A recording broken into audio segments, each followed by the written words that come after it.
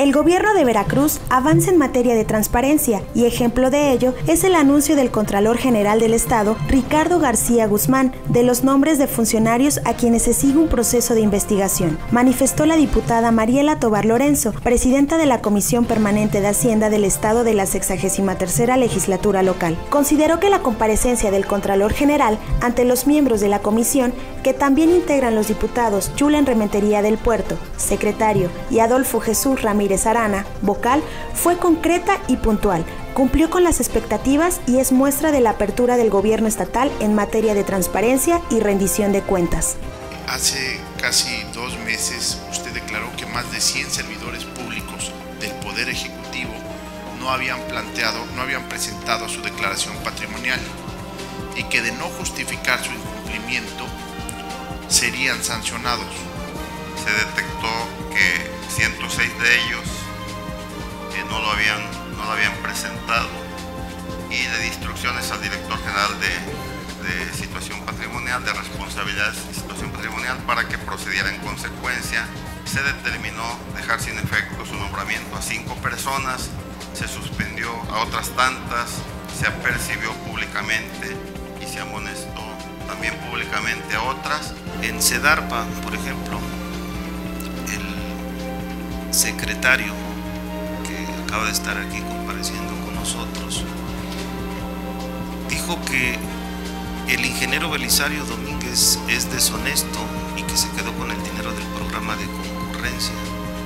Explicó que 283 millones de pesos están atorados, así lo dijo él. Preguntó qué seguimiento se le ha dado desde la Contraloría al caso de cada una de estas personas que han sido cesadas o separadas del cargo y si han habido algunas sanciones administrativas que se han puesto en torno a estos casos. Aclaró que no hay investigación ni denuncia contra los exfuncionarios separados de diferentes cargos de la Administración Pública Estatal en meses pasados, pues aún cuando los medios de comunicación han publicado diversas notas o especulaciones en las revisiones de la Contraloría, seguimiento de todo un proceso, no encontraron irregularidades. Contralor, Veracruz en materia de control total coordinación y alineación con la federación. Prueba de ello es la creación del sistema estatal de fiscalización. En este sentido, señor Contralor, le pregunto, ¿qué avances hay en la puesta en marcha de este nuevo modelo y de qué manera el nuevo esquema perfecciona el modelo existente? Actualmente tenemos la Auditoría Superior de Fiscalización,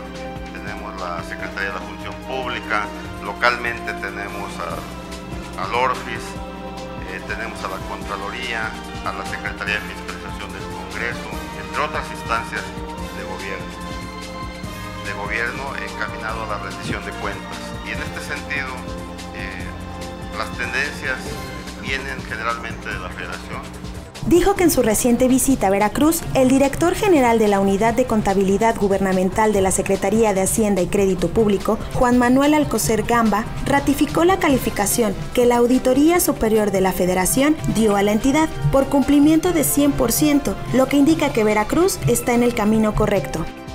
¿Qué va a hacer la Contraloría para poder cerrar, faltando solo dos años, y que precisamente paren estos actos y no siga, no se sigan ocurriendo qué va a pasar con esos funcionarios mencionados y pueda haber una transición clara y transparente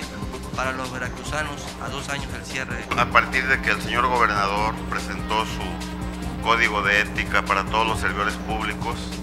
a lo que debíamos sujetarnos en materia de responsabilidad, de rectitud, de honestidad, de pulcritud, eh, a partir de allí la Contraloría decidió instalar, o en seguimiento, mejor dicho, a esa instrucción del señor gobernador, instaurar comités de ética al interior de las dependencias. Eh, este comité de ética es el encargado de, conjuntamente con el apoyo de la Contraloría, pero con el trabajo de la gente que trabaja en cada instancia de gobierno, delinear su código de conducta, al diputado Fidel Robles Guadarrama del Partido del Trabajo le precisó que la deuda pública de Veracruz reconocida por la Secretaría de Hacienda y Crédito Público es de 41 mil millones de pesos, no de 90 mil millones, por lo que se comprometió a responder por escrito otros cuestionamientos del legislador. En sistema de comunicación social. ¿Cómo recibió usted una vez que se cambió la comunicación social? Porque había en ciertos medios eh, comentarios de faltantes de recursos en cuanto al área de comunicación social. le puedo decir con todo conocimiento de causa que llevamos a cabo la entrega-recepción de esa área, la llevamos a cabo a fondo. Eh,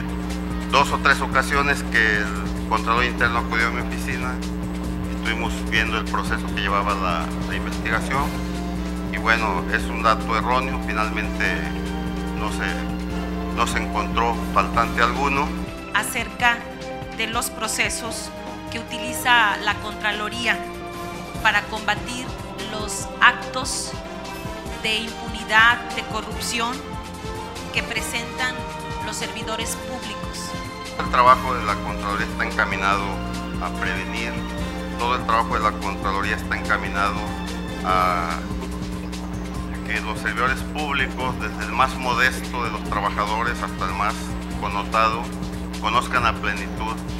el ámbito de actuación en que se habrán de desenvolver, conozcan a plenitud lo que dice la ley de responsabilidades,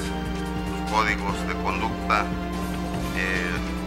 los procesos licitatorios, cómo deben llevarlos a cabo, lo que tienen que reportar mensualmente, trimestralmente.